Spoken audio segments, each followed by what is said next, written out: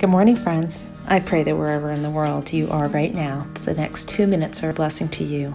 So you could go out or stay in and just be the blessing to the people the Lord has put around you today. So I probably spend a little more time on these moments sharing um, something I've learned about Jesus or something that the Lord has done in my life. Um, than I probably should, um, because last week I was reading through the greatest devotional it's called My Utmost for His Highest by Oswald Chambers. And I've probably gone through this thing about a, I don't know, two dozen times since I was in high school. And I came across this statement, which was in conjunction with um, this verse below, 1 Corinthians 9:16. Woe to me if I do not preach the gospel. Um, and here's what it said. Um, I'm reading directly from it. A missionary, or a person who wishes to proclaim the gospel, is not to proclaim his own point of view, but is only to proclaim the Lamb of God.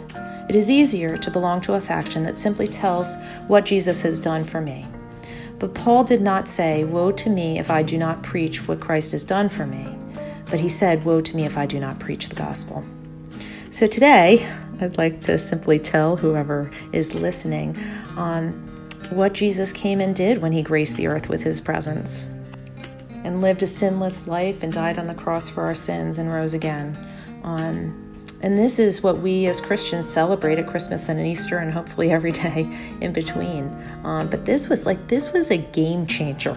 it was the game changer of game changers uh, for us because Jesus, because of what he'd done, then, then offered to pay our debt of sin. Um, and somehow at the end of our lives here on earth, then present us blameless to God so that we can spend eternity with Him.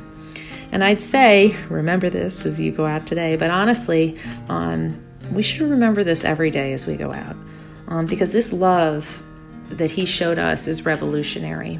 And if we remember this, right, if we meditate on this, if we remind ourselves of what He actually did for us, um, it will change us, it will transform us into a blessing to everybody we encounter.